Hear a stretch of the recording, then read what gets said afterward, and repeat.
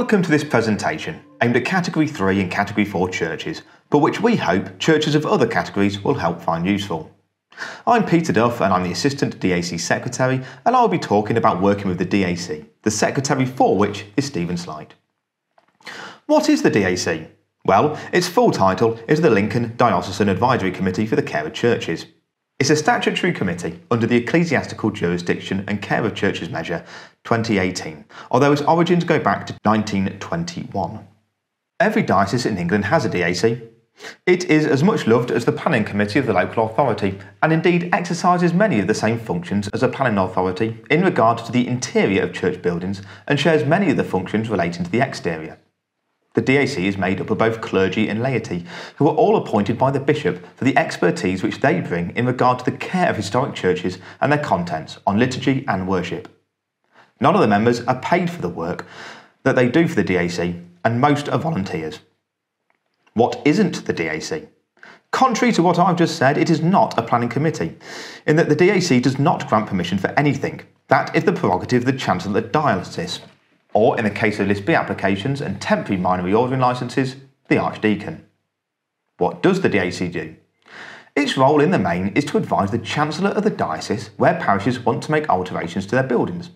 However, it also has a very significant role more widely in advising the archdeacons and parishes on the care of the church buildings of the diocese, and that happens particularly through the officers of the DAC and the church buildings team. Myself and Stephen and Matthew Godfrey, the Historic Churches Support Officer, and Fran Bell, the Church Development Officer. What doesn't it do? The DAC does not give permission, and equally, it doesn't reject work. Its role is advisory. It's in the title. Any final decision on a faculty application is made by the Chancellor of the Diocese.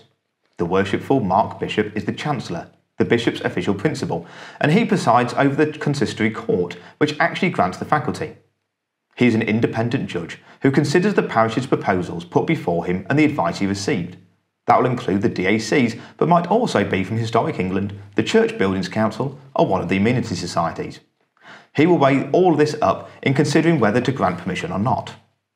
So back to the nitty gritty of how to work with the DAC. The most important thing that you can do is open up the channels of communication and talk to the DAC from an early stage. An email or telephone call to Stephen Slight or myself will allow us to give you an idea of what permissions are required and how best to go about getting them. Many works don't require a faculty and can be done under a List B application, and we can guide you on when that might be the case. We are pleased to give advice on how to use the online faculty system and to talk you through an application. Sit in front of your computer and the online faculty system and give us a call and we can look at the application together. The DAC is happy to send a delegation to visit and to talk about what you want to do and give you an idea of whether you are going in the right direction. It may be a group of members of the DAC or it might be an individual member or advisor. The DAC has advisors on almost anything which might affect a church building. Bells, electrics, heating and lighting, textiles, clocks, books and manuscripts, stained glass, monuments and organs. Their advice is free, and again, all these are volunteers, and the skills they bring and the advice they give are a contribution to the work of the Church in Greater Lincolnshire. The committee is happy to look at proposals for informal advice to see if you're going in the right direction. Let myself or Stephen Slight have as much information as possible, and we will pass it before the committee or an advisor to gain their thoughts in helping you frame it for a formal application. Some often heard comments it takes so long. An application for faculty doesn't have to take a long time. The DAC closing date for a meeting is a fortnight before the meeting itself. If the application is submitted then, it will be considered, however many applications there might be on the agenda. We aim to get responses out within a week or so of that meeting, and a good number get recommended at the first time of asking. It could therefore only be on the DAC's virtual desk for less than a month. Another one is they never agree to anything. The DAC almost never says no to a proposal. Indeed, it can't say no. It will almost always try to work with the parish to get what it wants to achieve, even if it wasn't how the parish first thought of doing it. There is almost always a way of introducing a toilet and a servery into a church, and the DAC will be happy to offer thoughts on where the most appropriate site it might be. Removal of all of the pews in a historic church might be more problematic, but it isn't unachievable to provide at least some flexible space within a building. It just needs good reasons why the parish wants to do it, based on good evidence and research. And don't forget that it isn't the DAC's decision, it is the Chancellor's, And even if the DAC doesn't recommend the work, you can still make your application to the Chancellor and ask him to give his judgment. What we're now going to do is look at what can be achieved. I will talk us through a couple of smaller works that parishes have undertaken, a media project, and a big reordering scheme. The first example we're going to look at is Barkston St Nicholas. They applied for temporary minor reordering licence to change one pew 180 degrees in order to fit a table in. The example on the left is the before and the example on the right is the after. This allowed them to put a table in so that afterwards the parishioners could have a tea and coffee. It was a very simple but very effective way of gaining some community space and keeping people into the church after services rather than going straight home. This obviously allowed for a bit more socialisation beyond the regular pattern of worship. They did this under a temporary minor reordering licence, and the clues are in the title. Firstly, it is temporary. The Archdeacon will probably give you about a year to 18 months to trial this new arrangement. Nextly, it is minor. The whole point is that the works are a minor piece of work rather than major, which we'll get to later.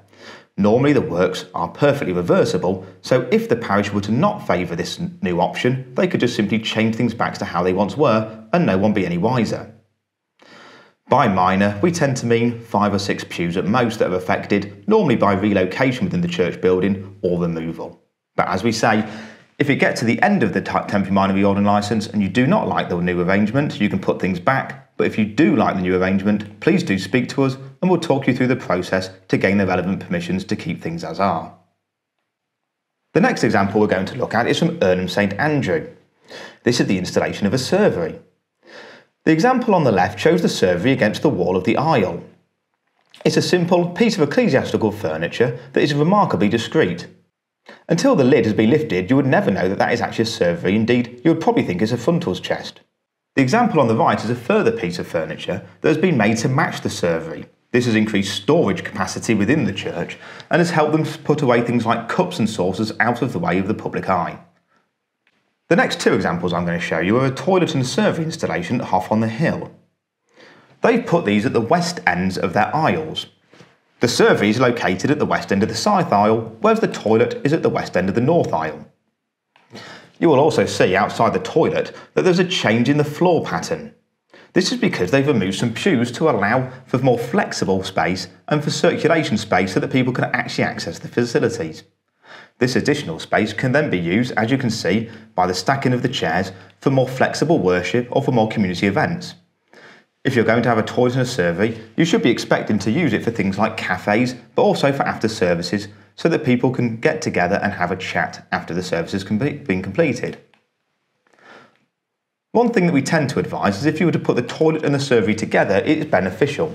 It helps the water enter and exit the church building in the same kind of area. The next slide is a perfect example of this. This is an example from West Deeping St Andrew. What West Deeping have done is they've cornered off the section of the west end of the north aisle. Within that, they've installed a toilet pod and you can see that by the screen that is in the front of the picture there. In front of it is sat the servery, and this is what a servery looks like with the lid up. The next project we're going to look at is much more of a larger scale project, and this comes from Epworth, again another St Andrew. What they've managed to achieve here is quite remarkable. They've removed all of the pews and installed some chairs. They've created a mezzanine in which they do the bell ringing within the tower. They've screened it off to create some meeting space, and they've installed a toilet and a servery and an interpretation centre.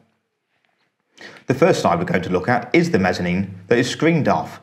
The bottom is the meeting space and the top is where the bells are now rang from. The second slide is a view from that bell ringing platform. You can look from west to east at the works that they have completed. There's new flooring throughout, there's an interpretation space on the left hand side of the screen, and throughout there is new heating and new lighting that really freshens up the place and gives it a nice bright and airy feel. In order to achieve such works, Epworth engaged all of the advisors and all of the members of the delegation at a very early stage of the process. This allowed them to get sound advice as to what could possibly be achieved, the correct kind of lighting, the correct kind of heating, and the correct kind of flooring finish for the kind of works they wanted to do. The final slide that we can show you is a cross section of what the church building actually looks like to give you an impression as to what the interior is laid out like. You should be able to see quite clearly there, within the tower space, the new bell ringing floor with a meeting room underneath, and a nice empty nave for lots of flexible use, whether it be worship or community.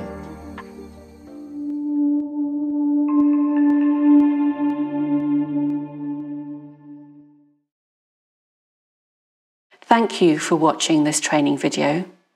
Do have a look at others in the series, and if you have any questions, please contact us at the Church Buildings team.